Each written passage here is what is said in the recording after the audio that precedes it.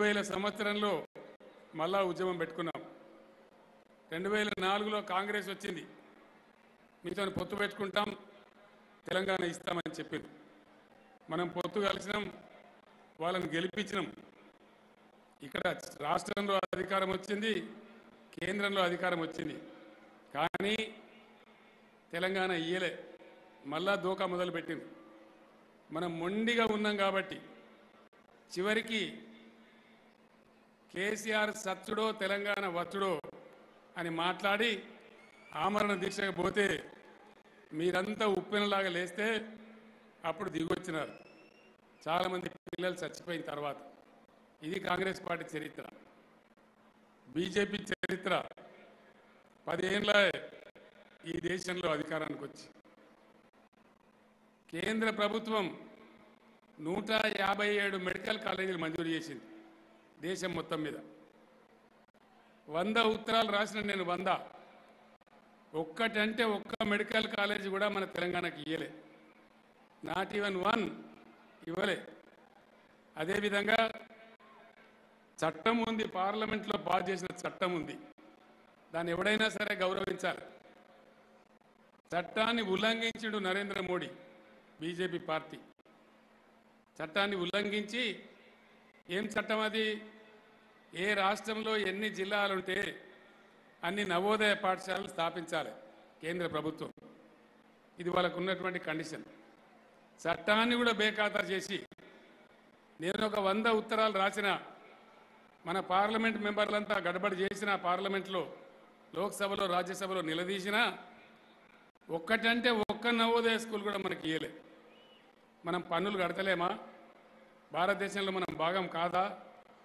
ఇక్కడున్న బీజేపీ నాయకులు పెద్దగా నీలుగుతారు. మరి ఏం చేసిండ్రు? ఎందుకు మాట్లాడలేదు నరేంద్ర మోడీతోని? ఈ రాష్ట్రంలో కూడా నలుగురు ఎంపీలు ఉండ్రి. ఏం చేసిండ్రు? అది బీజేపీ వైఖరి. ఒక్క మెడికల్ కాలేజీ ఇయ్యని బీజేపీకి ఒక్క ఓటు కూడా మనం ఎందుకు వేయాలి? దయచేసి మీరు ఆలోచన చేయాలి.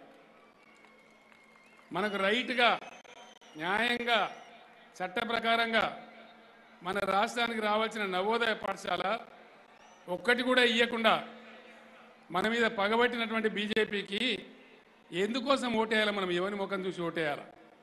ఏమొస్తుంది బీజేపీ ఓటేస్తే దయచేసి ఆలోచన చేయాలి దీని తర్వాత ఇంకో పెద్ద కథ. బీజేపీ పార్టీది కేసీఆర్ నువ్వు రైతుల కరెంటు మోటార్లకు మీటర్లు పెట్టాలి అన్నాడు. మోడీ. నేను చెప్పిన సచ్చినా సరే నేను పెట్టా అని చెప్పిన. ఏం చేసిండ్రో తెలుసా? ఇవన్నీ మీరు తెలుసుకోవాలి? ఉత్త బొబ్బ కాదు. రేపు ఓటుకు వచ్చిన వాళ్ళు నిలదీయాల?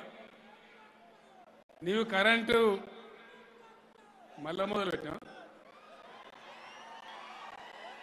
మోటార్లకు మోటార్లకు మీటర్లు పెట్టకపోతే సంవత్సరానికి ఐదు వేల రూపాయలు మీకు వచ్చే డబ్బులు కోస్తా అని చెప్పిండు. నువ్వు కోసుకున్నా సరే కోసుకోమని చెప్పినాం. రాష్ట్రానికి ఇరవై ఐదు వేల కోట్ల రూపాయలు కోత విధించండి ఇదే నరేంద్ర మోడీ. మరి ఇక్కడ ఉన్న బీజేపీ నాయకులు ఏం చేసిండ్రు? ఎందుకు వీళ్ళు మనకు ఓ తుంటని మెడల కట్టుకున్నట్ట? ఎందుకు పనికొస్తారు వీళ్ళు? రాష్ట్రం ఇట్లా నాశనం అయిపోతూ ఉంటే రాష్ట్రానికి వచ్చిన రాకపోతే ఇక్కడ వీళ్ళు గెలిచి చేసేదేంది పొడి చేసేదేంది? ఇది కాంగ్రెస్ బీజేపీ వైఖరి. ఇప్పుడు కొత్తగా కాంగ్రెస్ పార్టీ దుకాణం మొదలుపెట్టింది. ఏంటిది? కేసీఆర్కి పని లేదు. ప్రజలు కట్టిన పన్నులు రైతు బంధించి వేస్ట్ చేతండు అని మాట్లాడుతున్నాడు రైతు బంధు వేస్టా? వినబడతలేదు.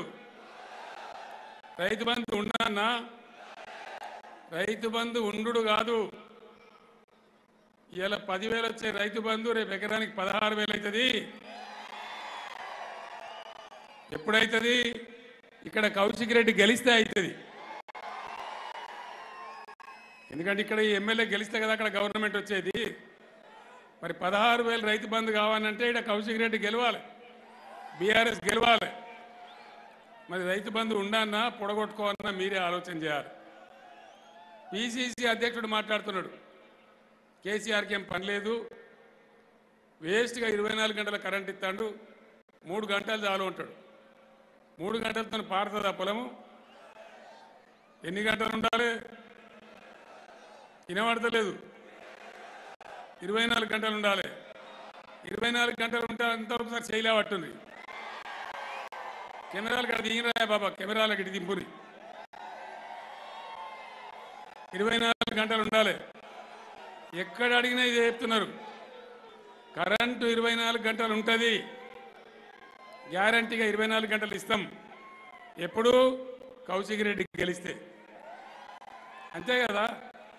ఇప్పుడు మీరు కత్తి కొని చేతిలో పెట్టి యుద్ధం ఇంకోని చేయమంటే సాధ్యమవుతుందా ఎవడు కొట్లాడతాడో మన పరంగా వానికి కత్తిస్తే యుద్ధం కరెక్ట్ అవుతుంది అంతే కదా? అందుకే మీరు లొల్లి బంద్ చేసి నేను చెప్పే నాలుగు మాటలు వినాలి. ఇవాళ ధరని తీసేస్తాడు ధరని తీసి బంగాళాఖాతంలో ఇస్తామంటారు ఎవరు? కాంగ్రెస్ నాయకులు. రాహుల్ గాంధీ బట్టి విక్రమార్క పిసిసి అధ్యక్షుడు అందరు చెప్తున్నారు. ధరని తీసేసి భూమి భారతి అని పేరు పెడతారట. భూమాతను ఏదో పేరు పెడతారట. మార్స్తారట. ధరని బంద్ అయింది అనుకో ఇలా రైతు బంధు పైసలు ఎట్లా వస్తున్నాయి మీకు? మేము అక్కడ డబ్బులు విడుదల చేస్తే మీ సెల్ ఫోన్లన్నీ టింగు టింగుమని మోగుతున్నాయి. బ్యాంకులో చూసుకుంటే మీకు పెట్టుబడి కరెక్ట్గా ఉంటున్నది.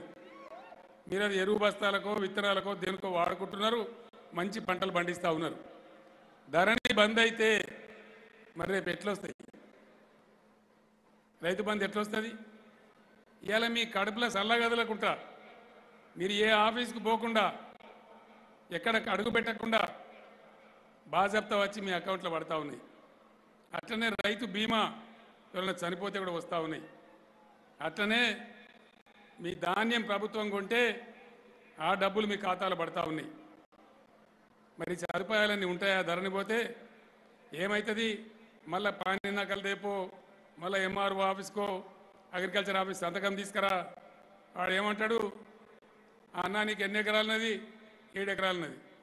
ఎంత వస్తుంది రైతు బంధు డెబ్బై వస్తుంది డెబ్బై వేలు వస్తుందా అవుతుంది నాకు ముప్పై వేలు లేకపోతే సంతకం పెట్టా. అంటే ఇది అయితే వైకుంఠ మాటల పెద్దపా మింగినట్టు అవుతుంది మళ్ళీ మొదటి కొత్తది కథ. ఇగో ఇది కాంగ్రెస్ వైఖరి. ఒక్క మెడికల్ కాలేజ్ ఇవ్వకుండా ఒక నవోదయ పాఠశాల ఇవ్వకుండా రాష్ట్రానికి వచ్చే ఇరవై ఐదు వేల రూపాయలు ఇరవై ఐదు వేల కోట్లు కోదబెట్టి మెడ మీద కత్తి పెట్టి నువ్వు రైతుల మోటార్లకు మీటర్లు పెట్టమనే పార్టీ బీజేపీ ఉన్నది ఊడవిక్తమంటూనేమో కాంగ్రెస్. రైతుల కోసం ఇన్ని మంచి పనులు చేసి పేదలకు ఇన్ని మంచి పనులు చేసి ఇంకా కూడా పేదల కోసం ఉన్న పార్టీ బీఆర్ఎస్. ఇగో ఇది మీరు ఆలోచన చేయాలని నేను కోరుతున్నాను. ఇది మీరు చర్చ పెట్టాలి గ్రామాలలో? ప్రజల మధ్య చర్చ పెట్టాలి. దయచేసి మీ అందరిని కూడా కోరుతా ఉన్నా. హుజూరాబాద్ నియోజకవర్గంలో ఉన్న మేధావులు తెలుగు కలవాళ్ళు అందరూ కూడా మీరు ఆలోచన చేయాలి. మీరు గుడ్డిగా ఓట్లేసుడు కాదు. ఏదో ఏదో దాని మీద ఓటేసుడు కాదు. ఏమైతే నాకు అర్థం కాదు. ఇప్పుడు బీజేపీ ఆయన ఆయన గెలిస్తే ఏమవుతుంది మొన్న ఎన్నో ఎన్నేళ్ళ గెలిచి ఏమైనా అయిందా? ఏకాన పని? ఇక పెద్ద పెద్ద మాటలు ఎలే గెట్లేవు మలేక బండి లేదు. పట్టే మాటలు తప్ప ఏం రా శూన్య ప్రియాలు శుష్క హస్తాలు. ఏం జరగదు. అదే కౌశిక్ రెడ్డి గెలిస్తే నేను ఒక్క మాట మీకు చెప్తా ఉన్నా. తెలంగాణలో దాదాపు యాభై శాతం తిరిగిన నేను. వందకు వంద శాతం బీఆర్ఎస్ గవర్నమెంటే వస్తుంది. గవర్నమెంట్ దిక్కుండే కౌశిక్ రెడ్డి గెలిస్తే మంచిగానా? లేకపోతే ఇంకెవరన్నా వేరే వాళ్ళు గెలిస్తే మంచిగానా? దయచేసి మీరు ఆలోచన చేయాలి. వేరే ఎవరికేసినా మీ ఓటు మోరిలా వారేసినట్టయితే తప్ప ఉపయోగం మాత్రం కాదు. అది మురిగిపోతుంది. అదే హుజురాబాద్కు బలం రావాలి హుజురాబాద్కి ఏం తక్కువ చేసిండు కేసీఆర్? మీ కాలువ లైనింగ్ చేయించలేదా? మునుపు వారబందీలు బంద్ పెట్టి ఇప్పుడు కాలువ నిండా నీళ్ళు వస్తలేవా? మీ దగ్గర ధాన్యం కొంటలేరా మీకు రైతు ఇబ్బంది వస్తలేదా? మీ దగ్గర దళిత బంధు అన్నిళ్ళకి రాలేదా? మరి ఇన్ని చేసిన కేసీఆర్ను కానీ ఎవరినో ఎత్తుకుంటే ఏమొచ్చేది ఉన్నది? ఆలోచన చేయమని కోరుతా ఉన్నాను నేను. హుజూరాబాద్ నియోజకవర్గం తప్పకుండా ఆలోచన చేయాలి.